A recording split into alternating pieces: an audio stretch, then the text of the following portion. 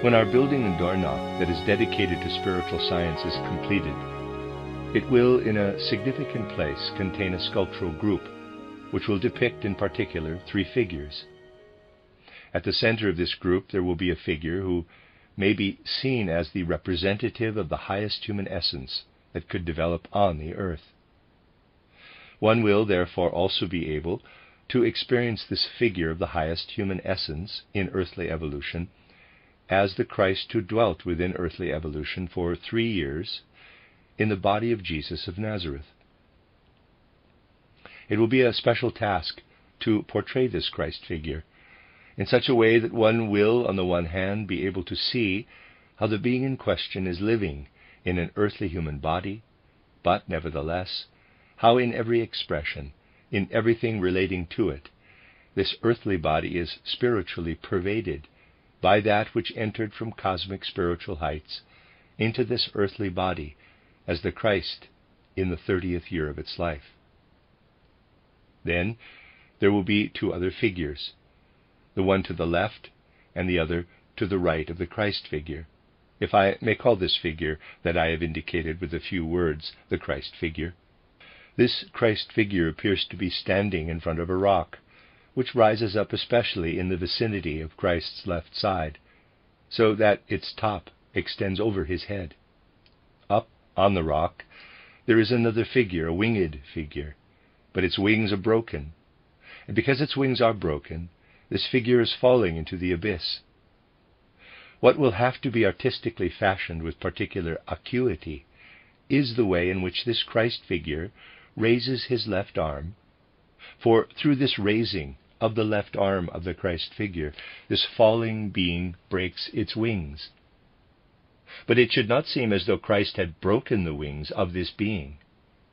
For the whole must be artistically fashioned in such a way that in Christ's raising of his arm it is apparent already in the whole movement of his hand that he has nothing but infinite compassion for this being. But this being cannot bear what is flowing upward through the arm and the hand and which additionally becomes visible through the indentations that the fingers of the outstretched hand seem to leave in the rock itself. What this being feels as it comes into the proximity of the being who represents the Christ may be expressed in words such as these I cannot bear it that something of such purity is flowing up toward me This is what is living in this being, and in so fundamental a way that its wings are broken, and as a result it plunges into the abyss. Herein lies a particularly significant artistic task. You can see what could be lacking if Christ were to be sculpturally portrayed, so that simply by raising his hand a power would stream forth from him that breaks this being's wings and causes it to fall.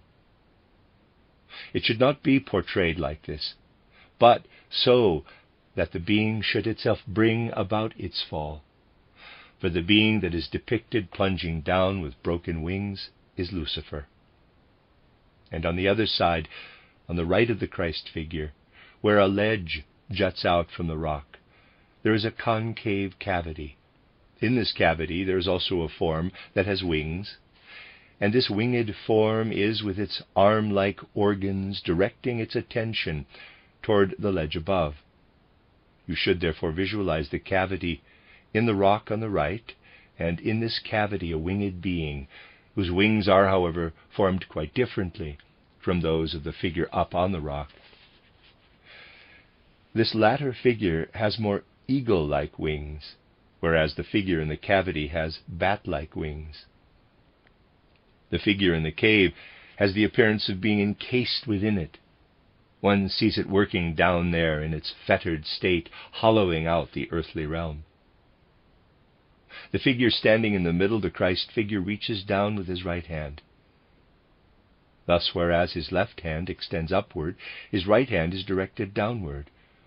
Again, it will be a significant artistic task to portray this not as though Christ wanted to keep this figure, which is Ahriman, in bondage. But he has infinite compassion for Ahriman. But Ahriman cannot endure this. he writhes with pain through what radiates from the hand of Christ. And this radiating quality causes the golden veins down below in the cavity to wind around Ahriman's body like cords and bind him. The same that occurs with Lucifer also happens with Ahriman. We shall then try to depict this same motif, which is conceived as a work of sculpture, which will stand at a significant place in the building in the form of a painting, which will express it in a completely different way. And so there will be this group of three figures Christ, Lucifer, and Ahriman in the form of a sculpture, and above it a painting representing the same motif. We are portraying this relationship between Christ, Lucifer, and Ahriman in our building in Dornach, because spiritual science really does show us, in a certain sense, that the next task with regard to an understanding of the Christ impulse consists in that man comes to know the nature of the relationship in the world between these three powers of Christ, Lucifer, and Ahriman. For much has hitherto been said about Christianity and the Christ impulse, but what came into the world through the Christ impulse, as a result of the mystery of Golgotha, is something that has not become completely clear to people. They speak of the existence of Lucifer and also Ahriman but in speaking of them, they often speak as though one must flee from them, as though it would be appropriate to say, I want to have nothing to do with Lucifer and Ahriman. If the divine spiritual powers which can be sought in the way I described in yesterday's public lecture also did not want to have anything to do with Lucifer and Ahriman, the world would not be able to exist. One stands in the right relationship to them not by saying, Lucifer, I shall flee from him, Ahriman, I shall flee from him, but by regarding what man has to strive toward as a result of the Christ impulse as the state of equilibrium of a pendulum. The pendulum is in the middle in a state of balance, but it must oscillate to the one side and to the other. It is the same with man's earthly evolution. Man is to oscillate to the one side in accordance with the Luciferic principle, and to the other in accordance with the Ahrimanic principle. But he must maintain his equilibrium by developing what Paul has expressed in the words, Not I, but Christ in me. We must conceive of Christ in his essential activity as being a reality, as a living force. This means that we must be clear that what flowed into our earthly evolution through the mystery of Golgotha was indeed an actual happening. It does not so much matter how well or how inadequately people have understood this until now, but rather that it has been a present reality in the earthly evolution of humanity. Much could be said about what human beings have not hitherto understood about the Christ impulse and spiritual science will need to make its contribution to the understanding of what flowed from spiritual heights into earthly evolution in the form of the Christ impulse through the mystery of Golgotha. In order to evoke an awareness of how Christ has been actively involved, I shall, and I have also spoken of this elsewhere, draw attention to two moments in the earthly evolution of humanity which are important for the whole development of the Western world. You will know from history what an important moment it was when Constantine, the son of Constantius Chlorus, overcame Maxentius, and Christianity was, through him, introduced into the further evolution of the West. That this could happen, Constantine had to win that important battle against Maxentius, which then led to him making Christianity the state religion of the Western Empire the whole map of Europe, would have become different if this battle of Constantine against Maxentius had not happened. But military strategy, that which the people of that time could achieve with their powers of reason, was not the decisive element in this battle. Something quite different was at work. Maxentius had consulted the so called Sibylline books, the prophetic oracles of Rome, which caused him to lead his army, which had been well protected within the walls of Rome, into the open field to confront that of Constantine. Constantine, however, had had a dream before the battle, in which it was indicated to him that if he marched toward Maxentius in the sign of the mystery of Golgotha, he would achieve something great. And so Constantine, whose army was a quarter of the size of his adversaries, advanced into battle with the sign of the mystery of Golgotha, the cross at its head. And inspired by the power emanating from the mystery of Golgotha, Constantine won that significant battle, through which Christianity was outwardly introduced to Europe. If we call to mind what people at that time understood intellectually of the Christ impulse, we find an endless string of theological quarrels. They argued over whether Christ is eternally equal with the Father and over other similar matters. It has to be said that it does not so much matter what people knew at that time of the Christ impulse, but rather that it was a present reality then, that through Constantine, through a dream that Constantine had, it guided what was to happen. It is the reality of Christ, the real power of Christ, that is important. We only begin to understand what the Christ impulse is from within spiritual science. Another moment was the one when Europe again took a formative step in its development in the struggle between France and England. Of this one can say that if France had not been victorious against England, all the circumstances would have become different.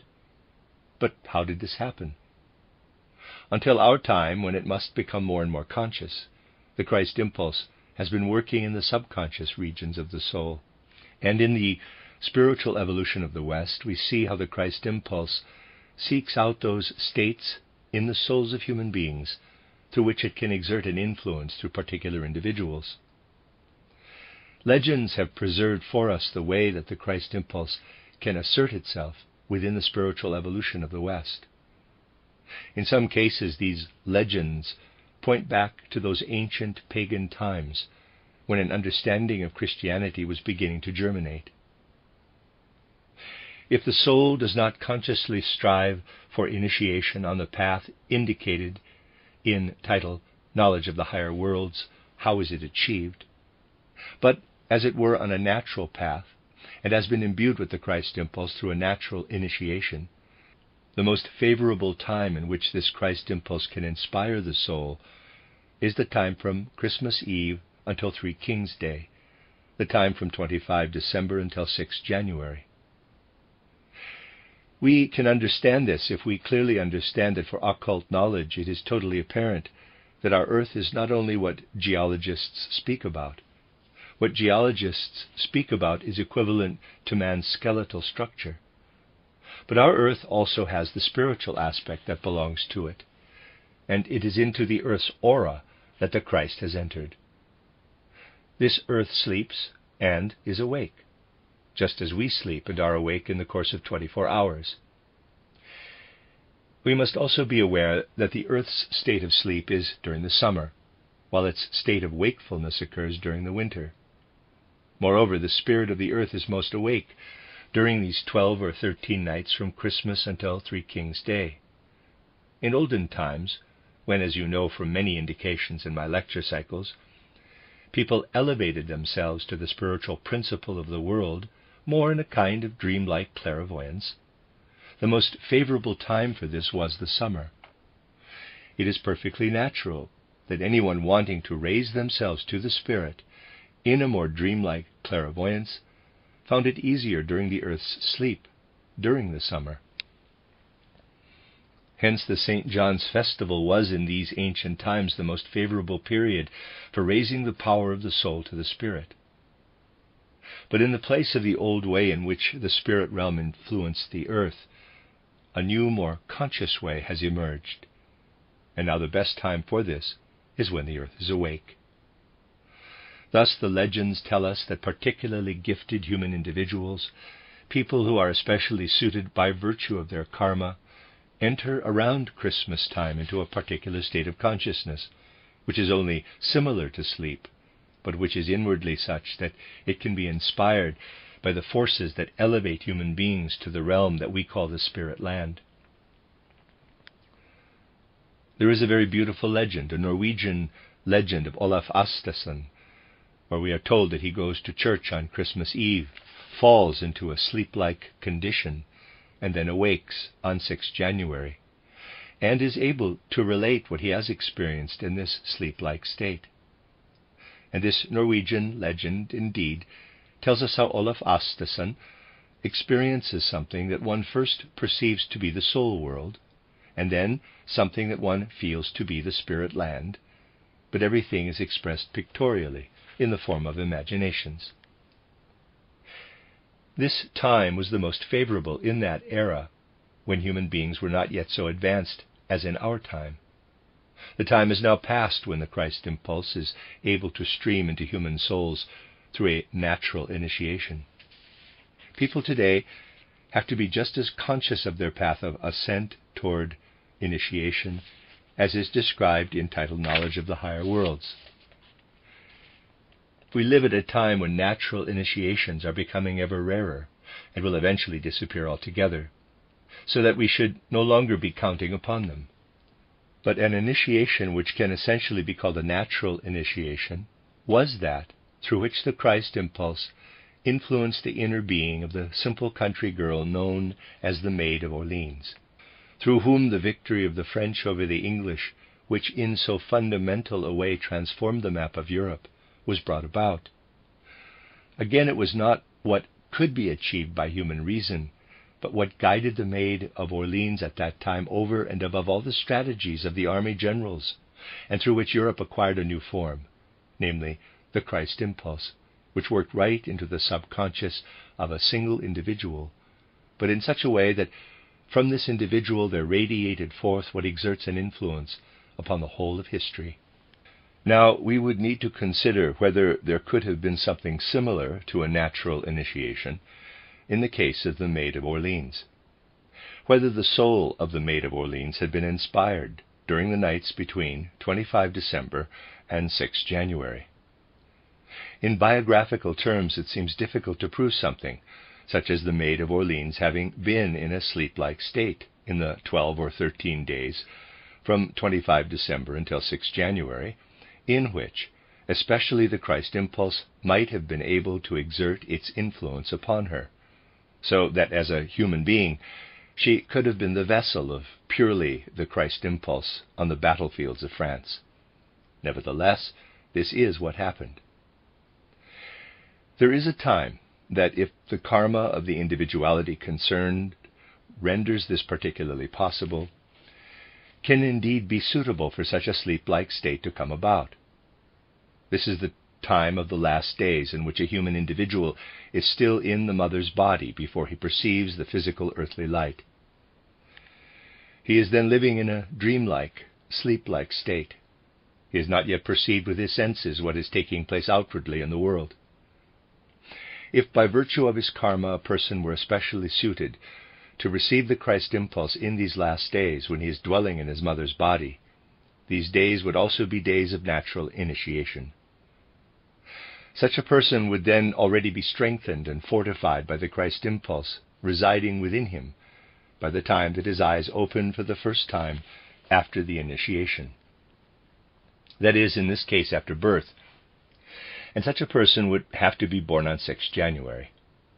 The Maid of Orleans was born on 6 January.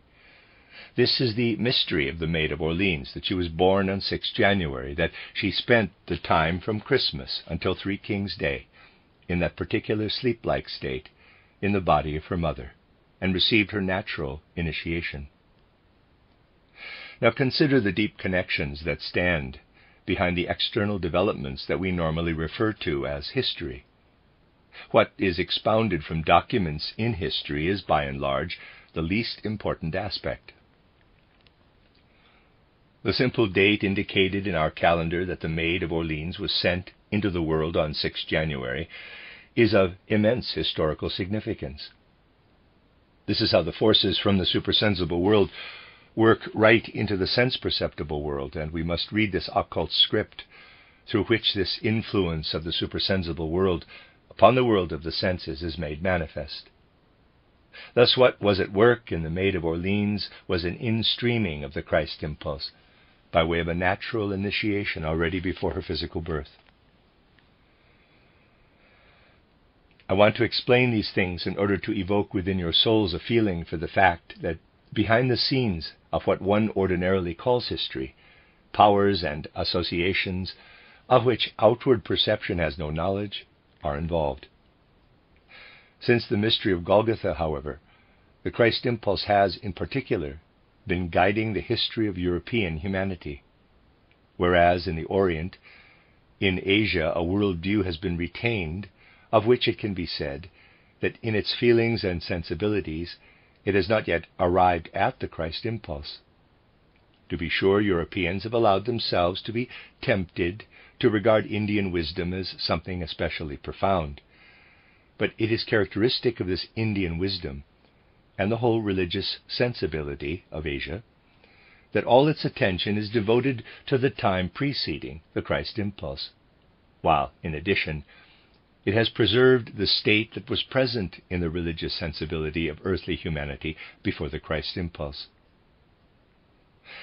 To remain behind in evolution always signifies embracing something of a Luciferic nature, and therefore Asian religious development is the bearer of a Luciferic element. As we consider the religious development of Asia, we cannot but be aware of seeing much in it that mankind once previously had, but which it has had to abandon. But in Western culture, we must cleanse all this from the Luciferic element and in part raise it up in such a way that the Christ impulse can flow into it. If we move from Asia to Europe, we find disseminated throughout Eastern Europe, in Russian culture, an Orthodox Christianity that has remained at an earlier stage of Christian evolution, that did not want to advance further, and wanted to retain something of a Luciferic quality. In short, as we look toward the east, we have what I might say the wise spirits guiding the world and the whole evolution of mankind left behind as the Luciferic element. As we look toward the west, we have a different, distinctive quality. The characteristic of this American culture is that everything is sought in externalities. Great and significant achievements result from this.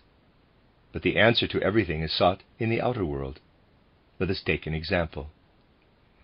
When we in Europe, and especially Central Europe, see that someone who had not hitherto had the opportunity to focus his heart and mind upon Christ and the spiritual, cosmic forces, has suddenly made a complete change in his life, we have an interest in what happened within him to bring this about. We are not so much interested in that he experienced a leap in his development, for one finds this everywhere. Indeed, there is something wholly inappropriate about the claim formulated by modern science that nature does not make leaps. From the green leaf of a plant to a red petal is a mighty leap. From the flower to the calyx is likewise a mighty leap. It is a totally false claim. And the truth of evolution rests on the fact that leaps are a regular occurrence. Thus, if someone who has for a while been taken up with external matters is suddenly able to have an inclination toward the Spirit, this is not what we find especially interesting, but the inner power and industry that cause what one might call a conversion to a spiritual awareness do indeed interest us. We shall want to look into the deepest feelings of such a person. We want to know what brought him to such a radical change. It is the inner soul aspect that we find interesting. What does an American make of this? He does something quite peculiar. In America, one would have plenty of opportunity to observe such conversions taking place. An American would ask those who have undergone such a conversion to write letters. He would then gather all these letters together into a bundle and say, I have received letters from a number of people. Approximately 200 people have written letters. 14% of all these souls who experienced such a conversion wrote that it was caused by a fear of death or hell that suddenly came over them. 5% claimed altruistic motives. 17% ascribed it to an aspiration for moral ideals. 15% to pangs of conscience. 10% to following teachings that they have been given, 13% to imitating others whom they had seen being converted, 19% because it was thought that they should be given a good hiding, and so on. In this way, one selects the most extreme cases, sorts and tallies them, and arrives at a result that is based on scientific fact. This is then compiled in books that are published on the theme of soul science. All other ways of arriving at conclusions are unsound, according to these people, and are based on subjective notions, so they say. There you have an example of the externalization of what is most intimate, and it is the same with many other aspects of life in America. At a time that calls for a particular degree of spiritual deepening, spiritism of the most external kind is rampant in America. People want to make everything tangible and matter of fact there. This is a materialistic conception of spiritual and cultural life. We could point toward many other things through which you would see that the culture of the West is gripped by Ahrimanic influences. When the pendulum swings to the other side and we look to the east, we have the Luciferic element. If we look toward the west, we have the Ahrimanic element. And the infinitely significant task that we in Central Europe have between East and West is to find the balance. Thus, it is our wish to represent in the form of the sculptural group the greatest of the spiritual demands of our age, finding the balance between the relationship to Lucifer and the relationship to Ahriman. One will recognize what the Christ impulse wanted of earthly evolution only if one portrays Christ not simply as an entity, but if one knows that Christ is that power that exemplifies for us the balance in the relationship of Lucifer and Ahriman. That there is as yet no clarity with respect to the relationship of man and of Christ to Lucifer and Ahriman may be illustrated by means of the following example.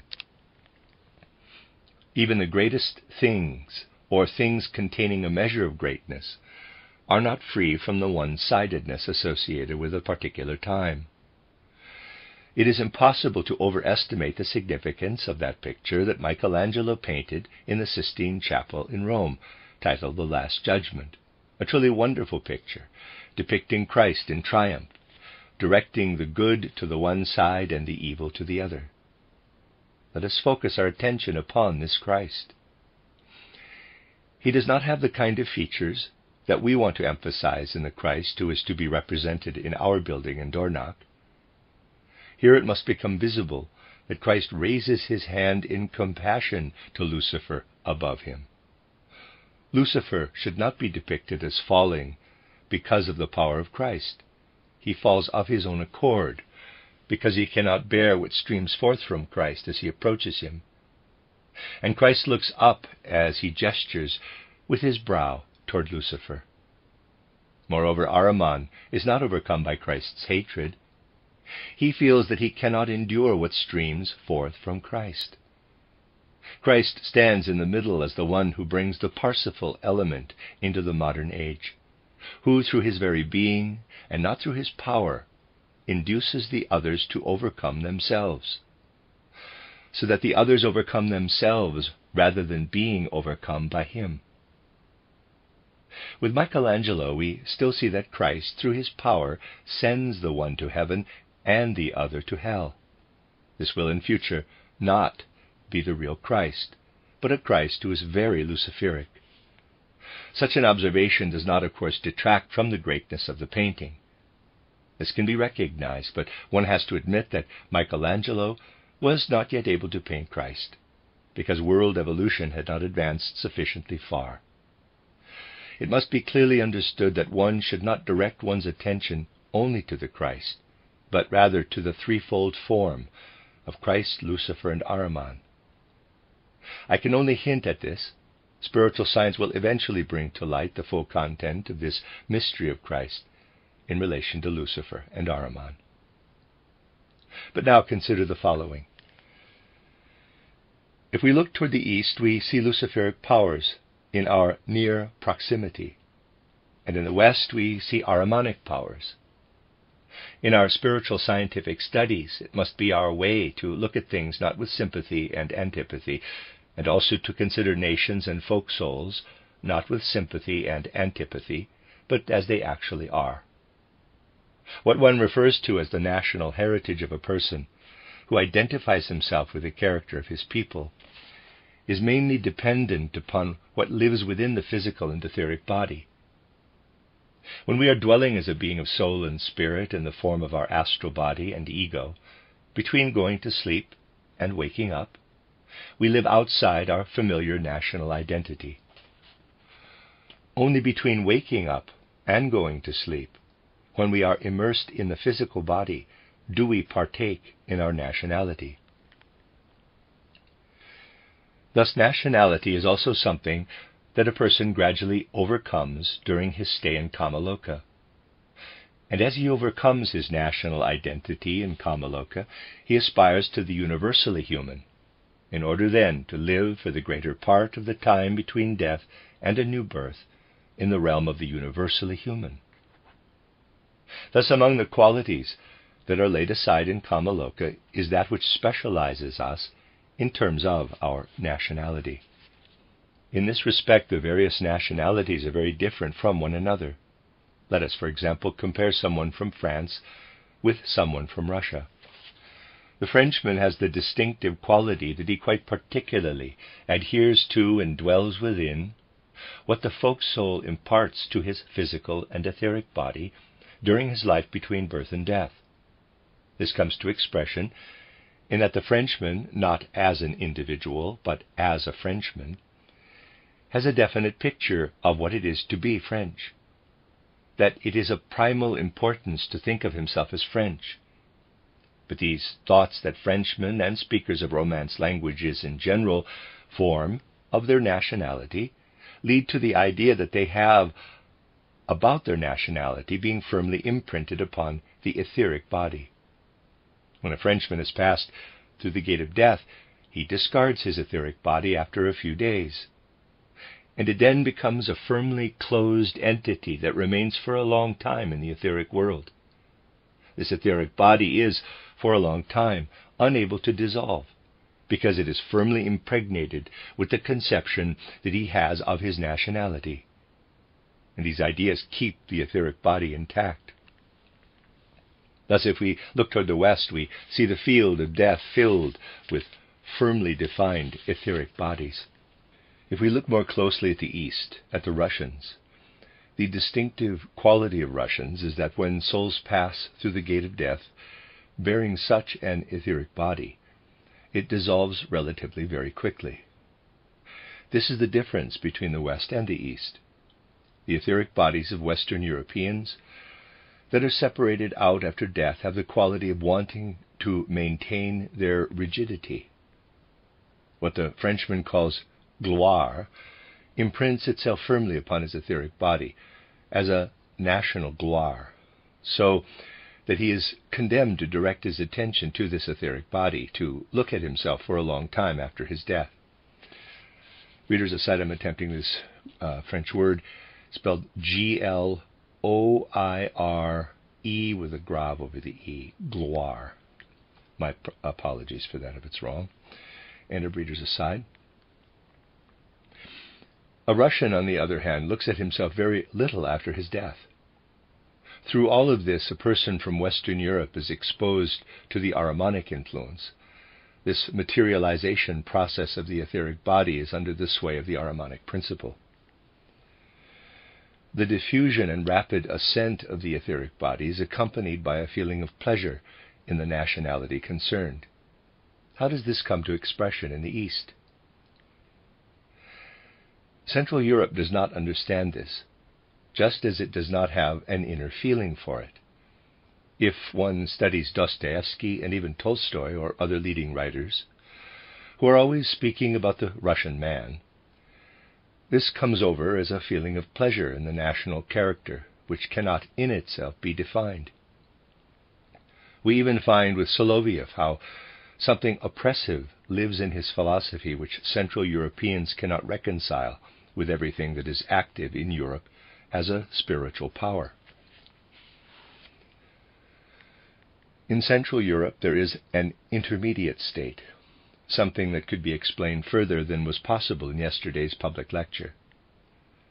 I said that something exists in Central Europe that is of an inner aspirational nature.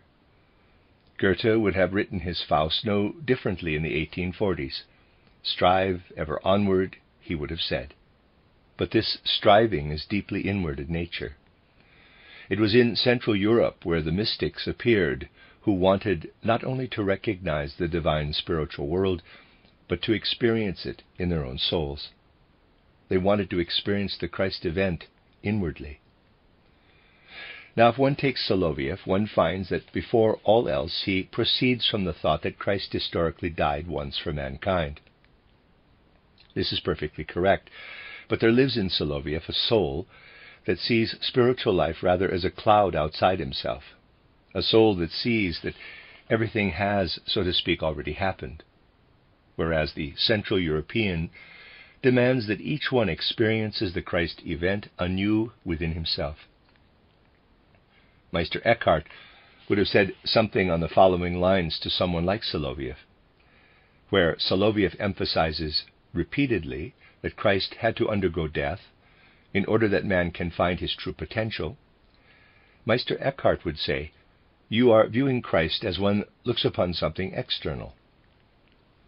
What matters is not that we always focus our attention upon historical events, but we must experience Christ within ourselves. We must discover something inwardly that passes through states similar to Christ, at least spiritually, so that the Christ event is experienced anew on a spiritual plane.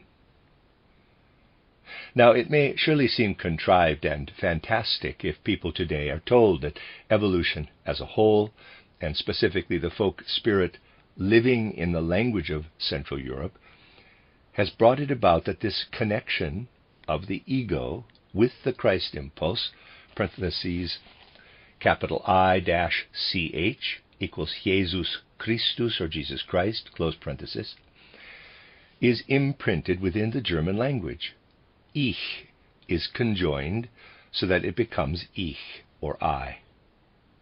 And as one speaks the word in Central Europe, one is pronouncing the name of Christ. This is how closely one feels the ego or I to be inwardly connected with Christ. This intimate association with the spiritual world in the way that it must be striven for in all areas of cultural and intellectual life in Central Europe is not known either in the West or in the East.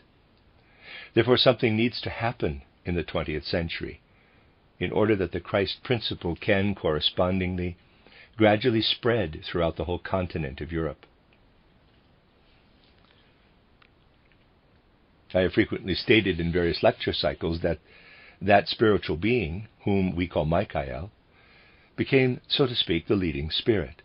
This leading spirit is now preparing the event which in the first of my mystery plays is referred to as the appearance of the etheric Christ on earth, an event that must occur in the 20th century. It will then happen that at first a few individual souls and then an ever increasing number will know that Christ is really here, that he is an earthly presence, but in an etheric and not in an earthly form. This must be prepared. If in the course of the 20th century certain souls were to open their spiritual eyes clairvoyantly, and this will happen, to what is living in the etheric world, they would be disturbed by those etheric bodies that emanate from Western Europe. Their spirit vision would rest first on them, and they would have a distorted perception of the figure of Christ. Michael, therefore, has to fight a battle in Europe he must contribute something toward the diffusion of these inflexible etheric bodies from Western Europe in the etheric world. To this end, he must take those etheric bodies that readily diffuse, those from the East, and battle with them against the West. The result of this is that since 1879, there has been a mighty battle in the astral world between Russian and West European etheric bodies, and this battle rages through the whole astral world. A mighty battle is indeed going on in the astral world, led by Michael, between Russia and France. This is what in the astral world lies at the foundation of the battle now raging in Europe. And just as we are often so staggered to find that something taking place here in the physical world has its counterpart in the spiritual world, so is it the case here.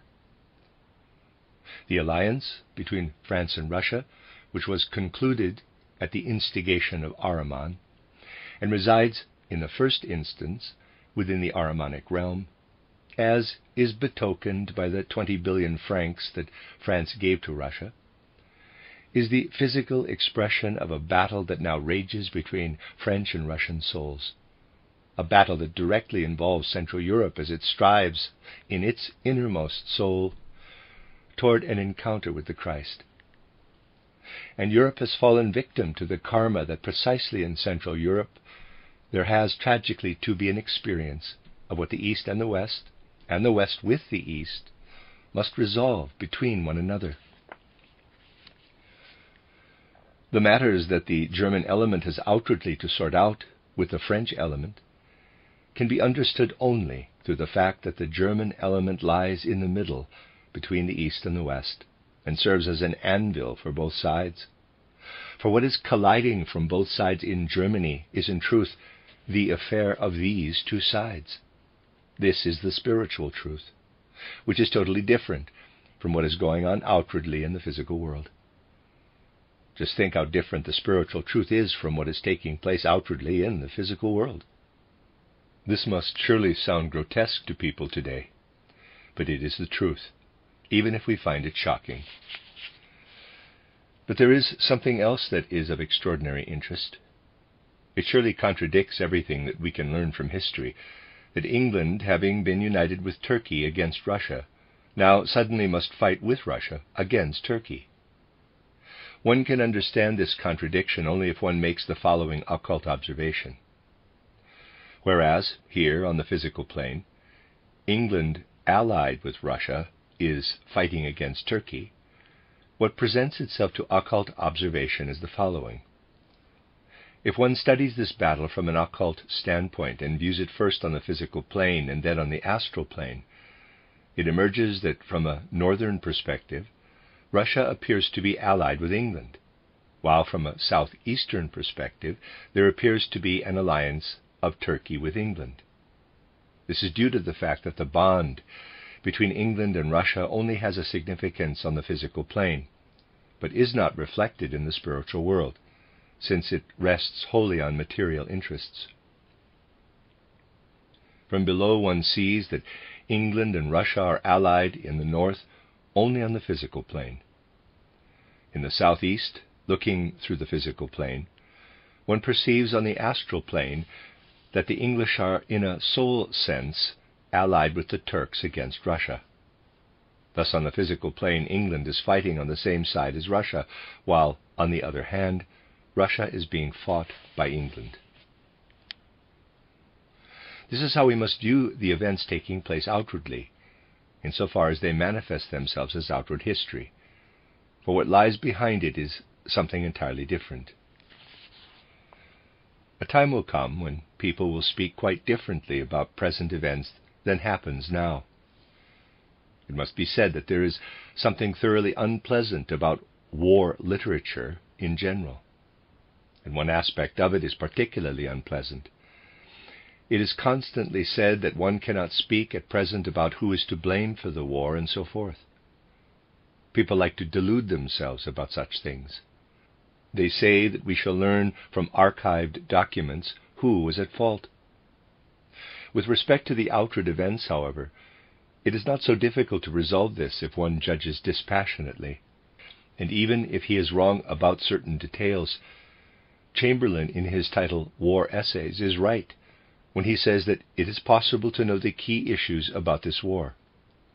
It is true that there is no doubt about that, but one needs to ask the right question. There is, for example, one question which, if it is rightly posed, can be considered quite unequivocally. It is the question who could have prevented this war? The constantly recurring question who bears the blame for this war and many other questions are not the right ones who could have prevented this war? The obvious answer would be that the Russian government could have prevented it. Only in this way will one be able to find the way to define the impulses that are at work in each situation. Of course, the war that the East has been wanting for decades would not have been able to come about if there had not been a certain relationship between England, Russia, and France, so that one can also, if one wants, ascribe the greater blame to England. But all these conjectures do not take into account the underlying causes that made the whole world war a necessity. It is naive to think that the war could have failed to materialize. People speak now as if this war did not need to happen, when it was, of course, part of European karma. I wanted to indicate this by speaking about the contrasts between East and West. It does not so much matter that we raise questions about the outer causes, for these are not important. We simply need to realize that this war is an historical necessity. The specific causes are then unimportant. What is important, however, are all the various effects toward which we must develop the right attitude, and one effect can impress us in a highly significant way. One remarkable characteristic phenomenon is that through such a war, many unspent etheric bodies are engendered and since this is the greatest war that humanity has engaged in since historical records began, this has featured in a major way. Unspent etheric bodies accumulate.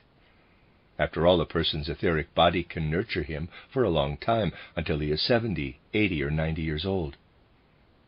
But in time of war, human beings are sacrificed in the prime of their lives. When someone passes through the gate of death, the etheric body, as you know, is expelled after a short time.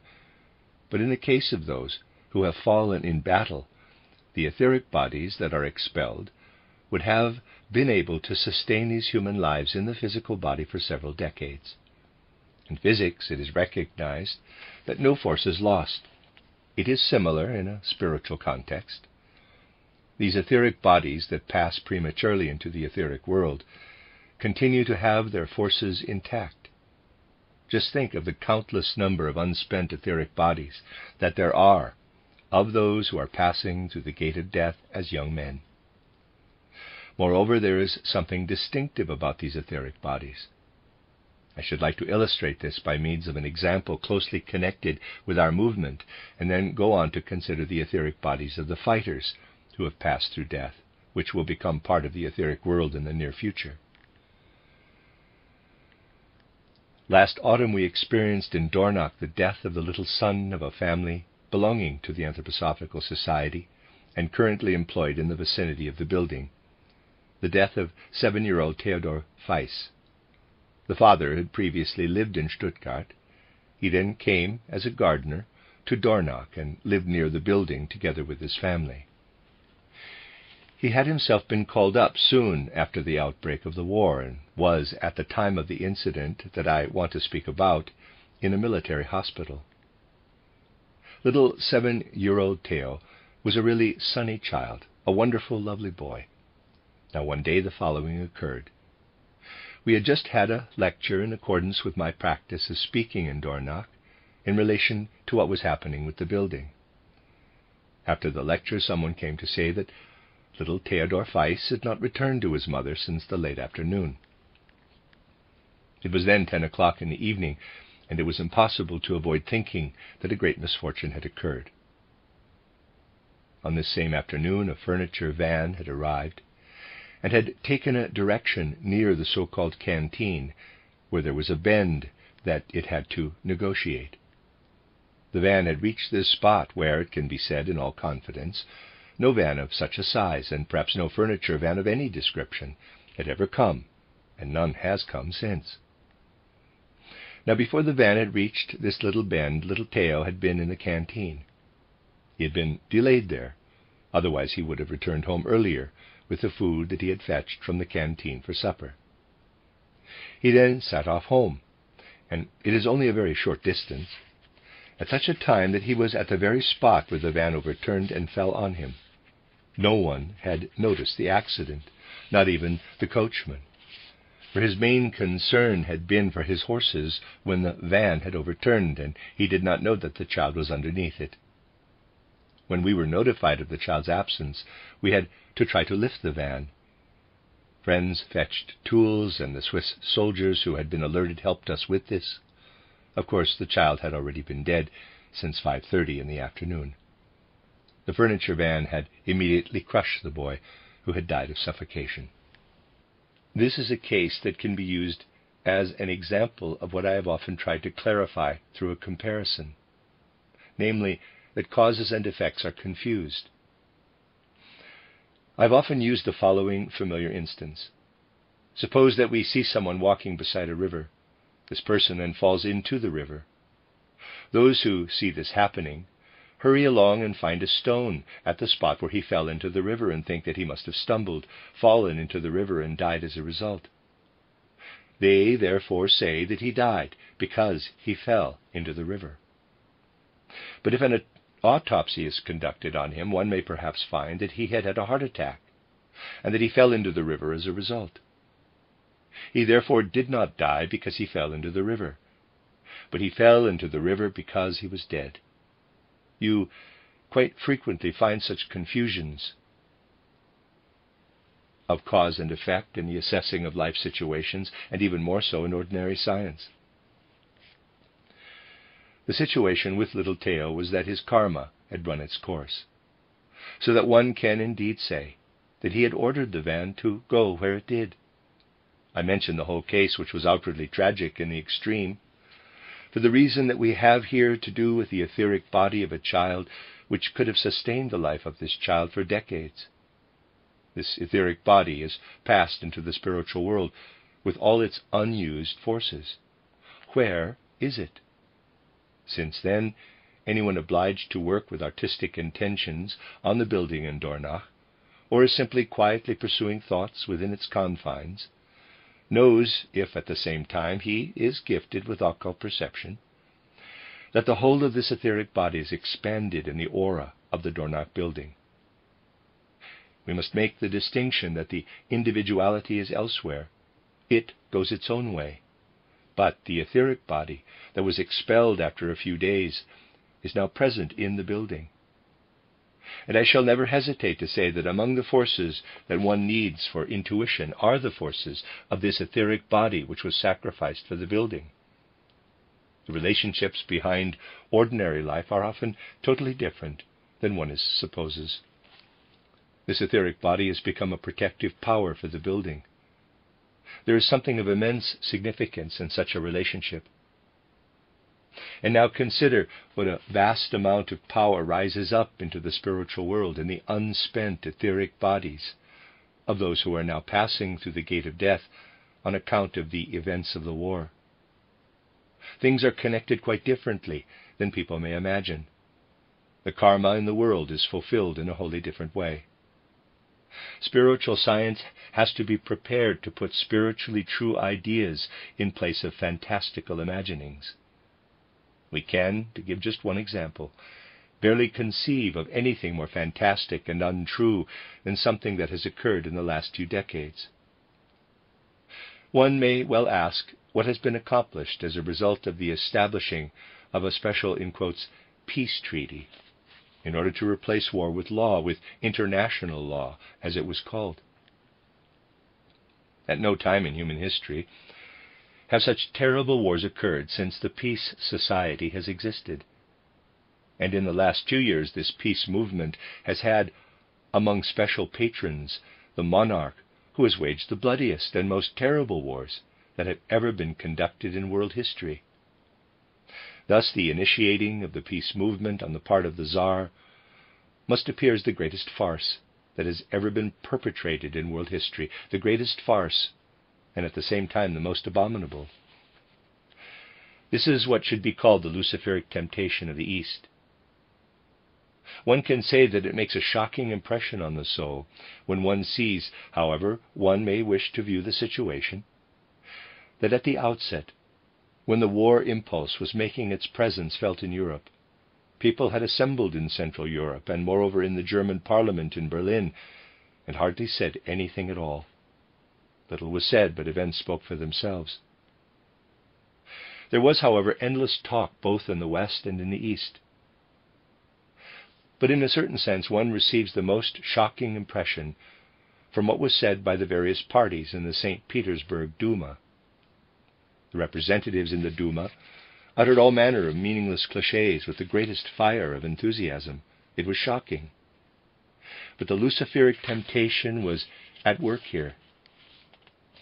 All this indicates to us that the fire that is burning in this war is a warning that people must truly heed. Everything that is now happening points toward the need for a few souls to say to themselves, things cannot continue in the world as they are at present. A spiritual element must flow into human evolution. Materialism has found its karma in this most terrible of wars. In a certain sense, this war is the karma of materialism. The more human souls perceive this, so much the more will they stop discussing whether this or that faction is to blame for the war, and will say to themselves, This war has been sent into world history as a warning that we should turn toward a spiritual conception of human life as a whole. Materialism does not only make the souls of human beings materially oriented, but it also perverts logic and dulls the feelings. Within Central Europe, people are still far from fully understanding the implications of what I have been saying.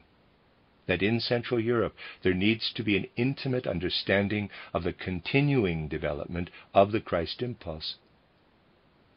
But this means, among other things, that a start must be made with understanding those individuals who have already sown the seeds for this. Just one example.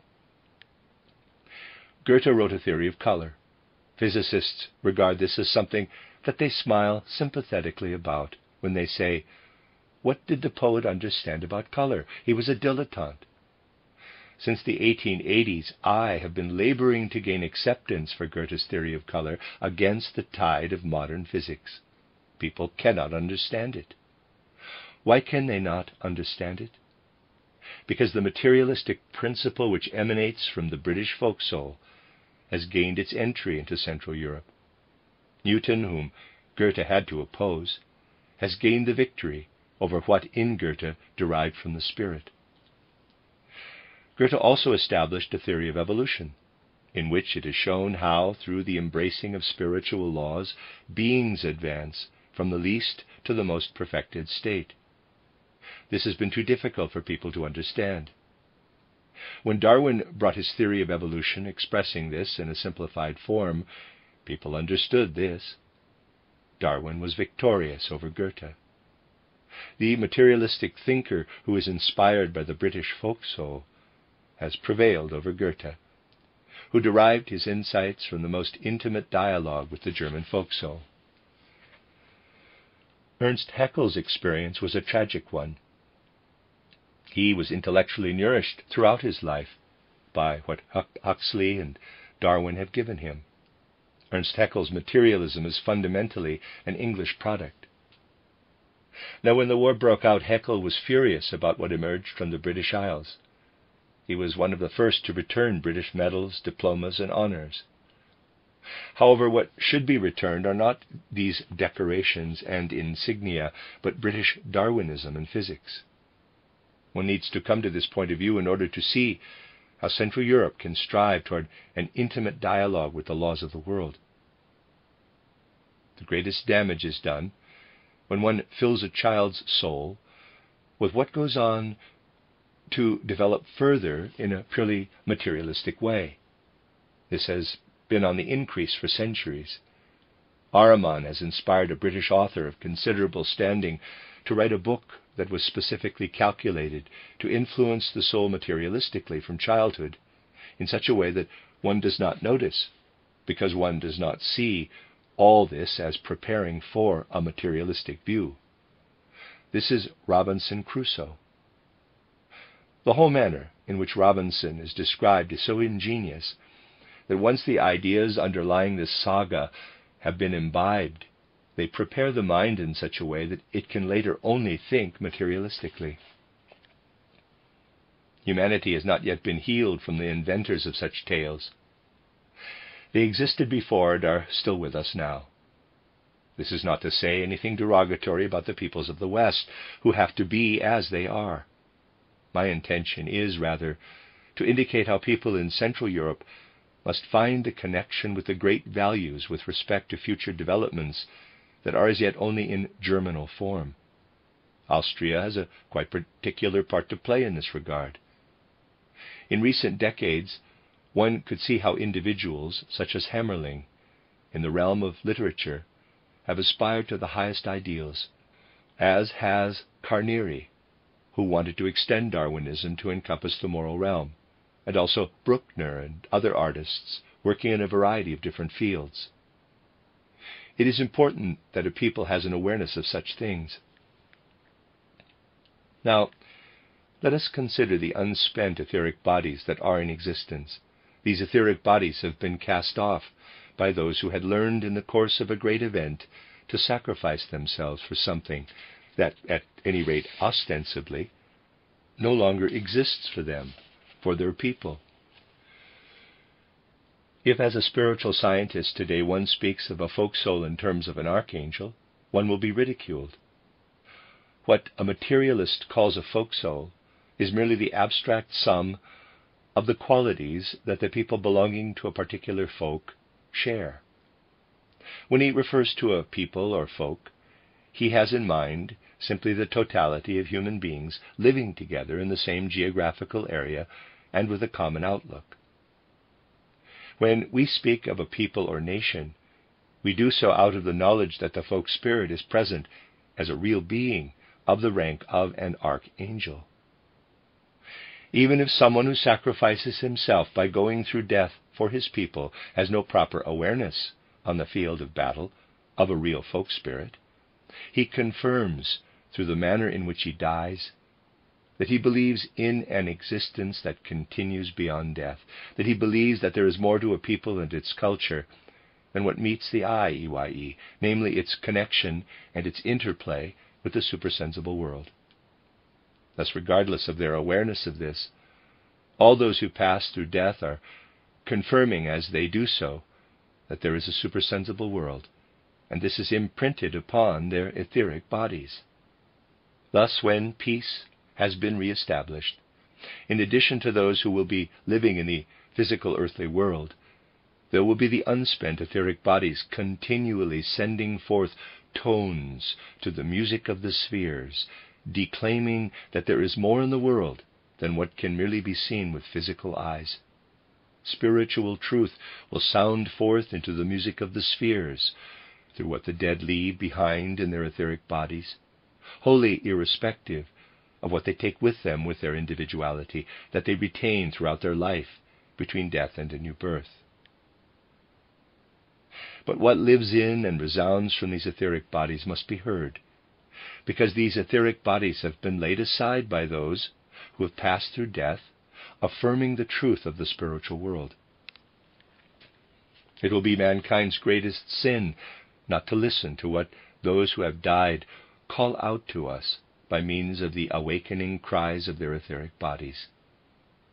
And as one looks up to the spiritual world, how infinitely one's perception will be enlivened if one considers that the fathers and mothers, the sisters and brothers, sons and daughters, who have lost their loved ones, must be saying to themselves, What has been sacrificed continues to live for the whole of humanity as an awakening call for what is to come.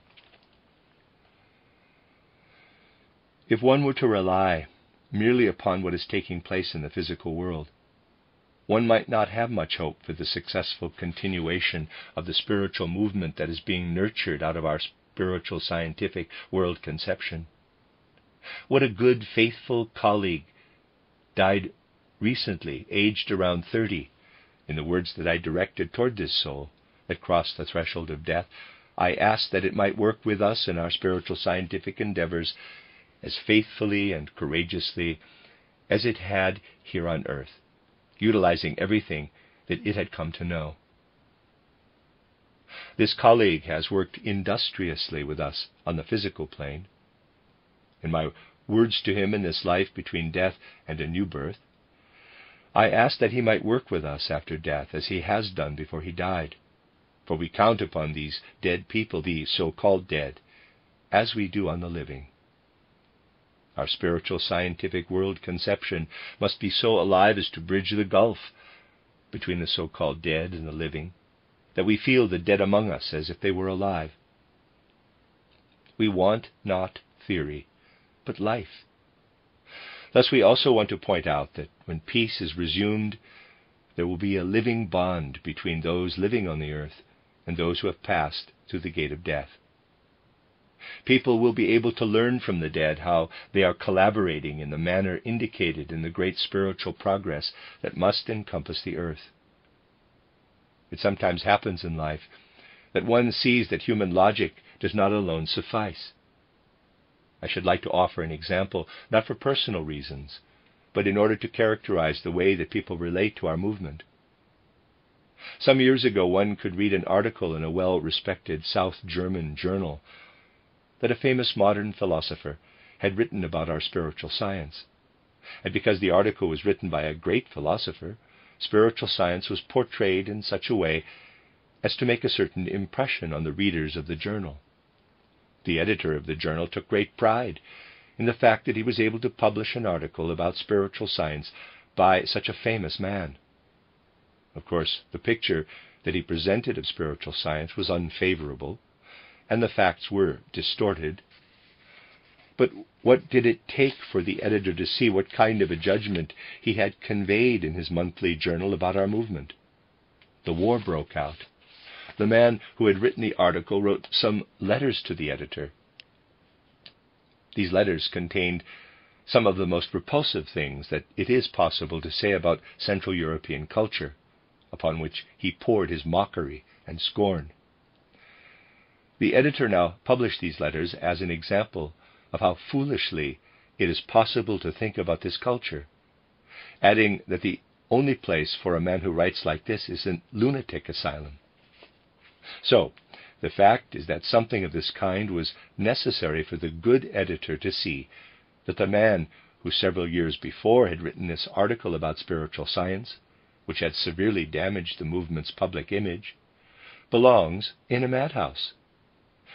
But if he now belongs in a madhouse, so did he also belong in one when he wrote an article about spiritual science. This is the way of the world. Additional help is needed beyond what is available to people today to form a judgment. The spiritual scientist stands firmly on the ground that clearly shows that the truth eventually finds its path. Spiritual science must exert its influence within human evolution in order that what is necessary occurs. And so, as at that time when the Emperor Constantine had his task to fulfill the Christ impulse, had subconsciously to intervene from the spiritual world, as with the Maid of Orleans, the Christ impulse had to bring its influence to bear in order that what had to happen did indeed happen, so must the Christ impulse continue to work further, though now more consciously. There must in future be souls who will know that up there in the spiritual world, those who have sacrificed themselves as individuals are calling us to follow them in the belief in the efficacy of the spiritual world, which they have attained in death. And the forces from unspent etheric bodies are sending their call into the future, a call that one only needs to understand in order to receive it into one's own soul. But there must be souls down below that hear this call. There must be souls that prepare themselves through the right, living understanding of our spiritual science. Our spiritual science must foster souls here on earth that are able to sense what the etheric bodies of the dead will speak in the future. Souls that know that up there reside the forces that are able to evoke a sense of urgency within human beings who had to be left to themselves on earth. And when spirit conscious souls direct their attention to the hidden sounds of the spiritual world, the right fruits will arise from all the blood that has flowed, the sacrifices that have been made, and the sorrow that had to be borne and will continue to be borne.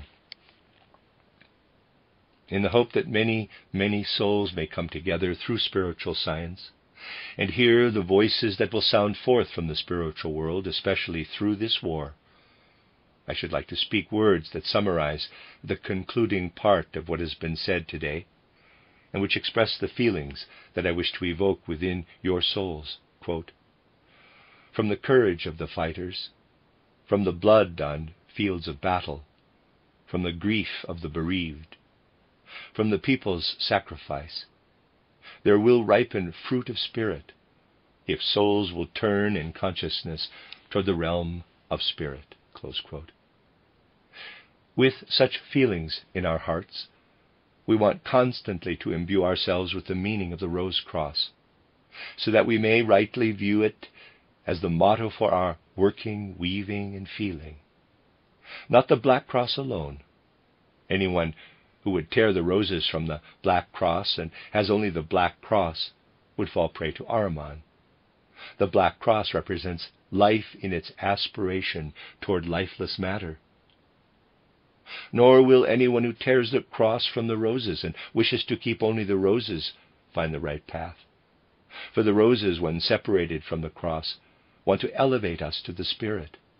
But this life would seek egotistically to strive only toward the Spirit and not make the Spirit manifest within the material realm.